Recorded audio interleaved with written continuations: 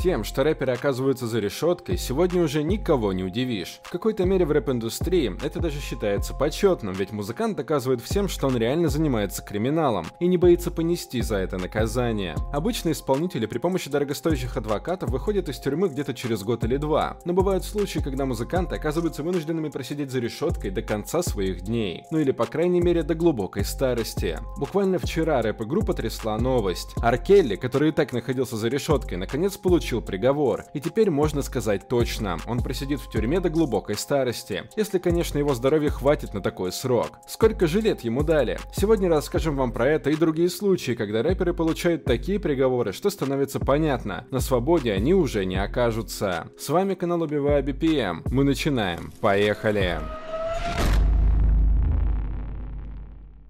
Что ж, начнем сразу же с последних новостей. Аркели, 55-летняя легенда R&B, автор песни I Believe I Can Fly и обладатель трех Грэмми, приговорен к 30 годам тюремного заключения. В сентябре 2021 года он был признан виновным в торговле людьми с целью интимной эксплуатации. Теперь он пробудет за решеткой до 84 лет. Судья Доннелли, вынесшая приговор, обратилась к певцу так, цитата, «Эти преступления были взвешены, тщательно спланированы и регулярно исполнялись на протяжении почти 25 лет. В ходе ходе рассмотрения дела в суде выступили 45 свидетелей. 11 из них заявили об абьюзе со стороны Аркелли, а также о физическом и эмоциональном насилии. Шестеро рассказали о связи Аркелли с несовершеннолетними. Одной из жертв предположительно стала бывшая супруга артиста, на которой тот женился, когда ей было всего 15 лет. And.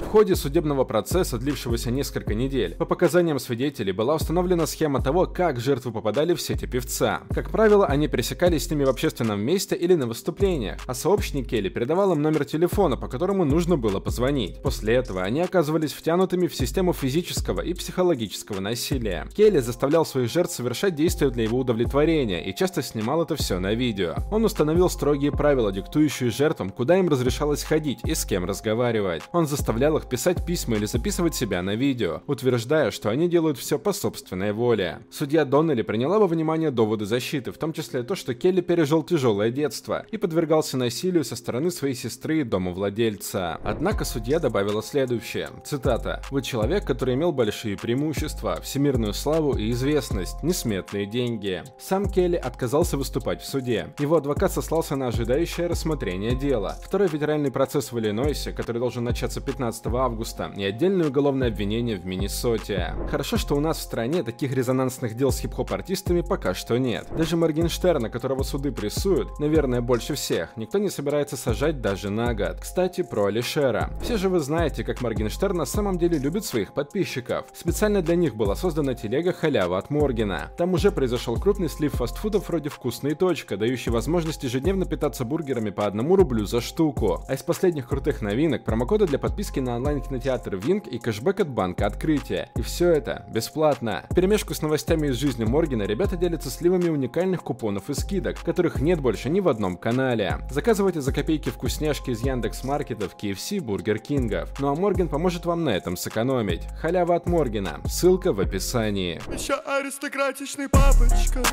Видишь, на лице ночная бабочка. Ну а мы пойдем далее. Примерно до тех же 80 лет сидеть за решеткой придется и другому американскому рэперу. В мае этого года стало известно, что 62-летний американский пионер рэпа The Kid Creole, участник проекта Grandmaster Flash и Furious 5, приговорен к 16 годам тюремного заключения за убийство бездомного. После отбывания срока музыканту грозят еще 5 лет надзора. Инцидент произошел в августе 2017 года на Манхэттене. По словам прокурора, рэпер проходил по улице мимо бездомного. Они обменялись несколькими словами, после чего музыкант вытащил нож и нанес им собеседнику два удара в корпус. Стекающую кровью жертву обнаружили туристы. Когда пострадавшего доставили в госпиталь, он был уже мертв. Декит Криоли скрылся с места инцидента, отправился в свой офис, переоделся и вымыл орудие убийства в раковине, после чего выбросил его в канализацию возле станции метро в Бронксе, где нож и был обнаружен, что привело к аресту исполнителя. Настоящее имя музыканта Натаниэль Гловер родился 19 февраля 60 -го года в Бронксе.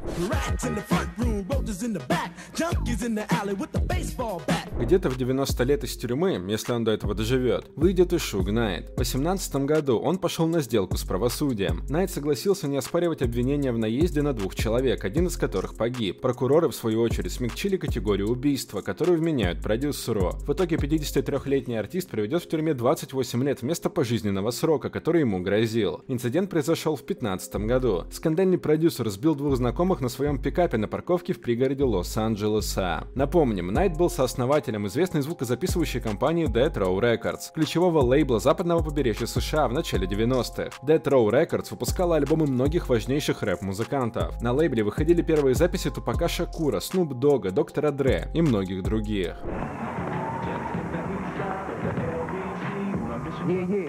Есть слухи, что скоро на свободе может оказаться YNW Мелли. Пока что это действительно только слухи, но об этом уже активно говорит его мать. Тем не менее, на данный момент Мелли сидит в тюрьме, и если ничего не поменяется, выйдет оттуда уже довольно взрослым человеком. Если вообще выйдет. В феврале 2019 года YNW Мелли был задержан полицией. Ему предъявили обвинения в убийстве двух бывших друзей. Убийства были совершены в октябре 2018 года. Также в преступлении обвиняется предполагаемый сообщник рэпера Кортленд Генри. По версии следствия, после убийства злоумышленника злоумышленники инсценировали перестрелку из автомобиля, чтобы запутать полицию. Сообщалось, что прокуратура была намерена потребовать смертной казни для музыканта. А это означает, что даже если смертной казни и не случится, то рэперу все равно будет грозить длительный срок. Скорее всего, не меньше, чем у Ар Келли. Ранее YNW Melly дважды был задержан полицией за хранение веществ. Рэпер наиболее известен благодаря хиту Murder on My Mind. Клип на эту песню собрал сотни миллионов просмотров на ютубе.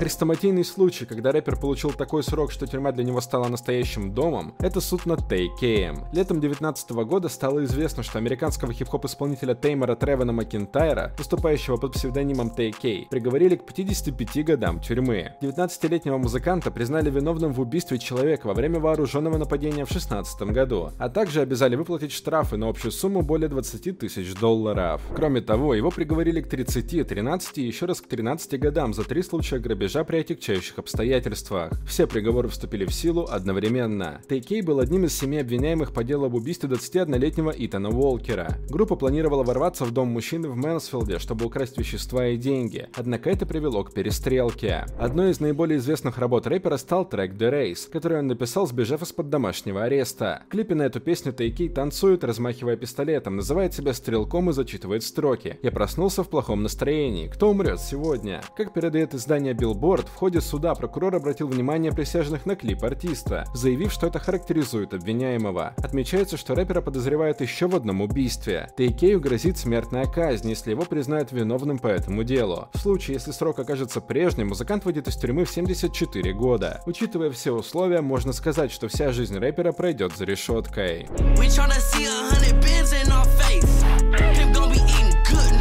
Если говорить про нашу страну, то и тут не без прецедента. 3 ноября 2021 года, то есть меньше чем через год после освобождения, Выборгский городской суд Ленобласти арестовал Янг Трэпу. Рэперу предъявлено обвинение в насилии и двух эпизодах других насильственных действий, сопряженных с угрозой убийства. По словам потерпевшей, он обещал ее задушить и даже выбросить в окно. Напомним, что заявление на исполнителя написала 18-летняя студентка из Санкт-Петербурга. Она настаивала, что музыкант силой принудил ее к близости в коттедже, арендованном компанией для отдыха. Со слов потерпевшей, там предполагалось обсудить предложение о съемках в клипе, которое сделал ей сам Трэпа. Рэпер же уверяет, что все случилось по взаимному согласию, и не впервые. Позднее обвинение против рэпера выдвинула еще одна 18-летняя девушка, которая также была в коттедже. Как вы понимаете, Трезини все обвинения отвергает. После всего этого Трэпа отправился в СИЗО на два месяца, но новостей о его освобождении до сих пор не появлялось. Возможно, музыкант уже вышел на свободу, но пока что не торопится что-то делать публично, ожидая суда. Так или иначе, у артиста тюрьма тюрьма сменяется СИЗО и наоборот. Довольно много времени он уже провел за решеткой. Следим за ситуацией.